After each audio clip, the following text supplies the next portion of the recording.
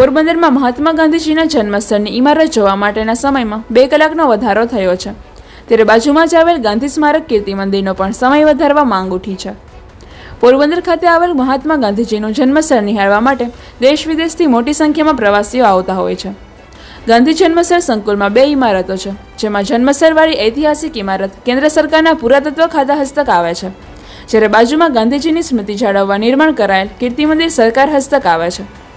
ગાંધીજીના જન્મ સરવારી ઐતિહાસિક ઇમારત નિહાળવા માટેના સમયમાં તાજેતરમાં બે કલાકનો વધારો કરાયો છે. અગાઉ આ ઇમારત સવારે સાડા સાતથી સાંજે સાત સુધી જ પ્રવાસીઓ નિહાળી શકતા હતા. પરંતુ તાજેતરમાં સમયમાં બે કલાકનો વધારો કરી રાત્રે નવ વાગ્યા સુધી આ ઇમારત પ્રવાસીઓ માટે ખુલ્લી રાખવામાં આવે છે. પરંતુ આ સંકુલમાં જ આવેલી ગાંધી સ્મારક કીર્તિ મંદિર છે. તે નિહાળવા માટેનો સમય સાંજે સાત વાગ્યા સુધીનો જ છે. આથી ગાંધી જન્મસ્થળ નિહાળવા આવતા પ્રવાસીઓ જન્મસ્થળનો એક ઓરડો ખુલ્લો છે. તે નિહાળીને પરત ચાલ્યા જાય છે.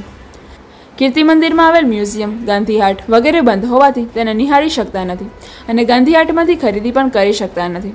આથી બંને ઇમારત નિહાળવા માટે એક સરખો સમય રાત્રે નવ સુધીનો રાખવામાં આવે તો પ્રવાસીઓ સમગ્ર ઇમારત નિહાળી શકે. આથી બંનેનો સમય એક સરખો રાખવા માંગ ઉઠી છે. ગાંધીજીનો જન્મ થયો. તે ઇમારતના ઉપરના બંને માળ બિસ્માર હોવાથી પુરાતત્વ ખાતાએ ત્રણ વર્ષ પૂર્વે ઉપર જવાનો રસ્તે પાર્ટીશન મૂકી અને તાળા લગાવી દીધા હતા અને પાર્ટીશન પર ઉપરના બંને માળના ફોટા મૂક્યા હતા. જેથી પ્રવાસીઓ ઉપરના માળના માત્ર ફોટા જોઈ અને નિરાશ થઈ અને ફરવું પડે છે.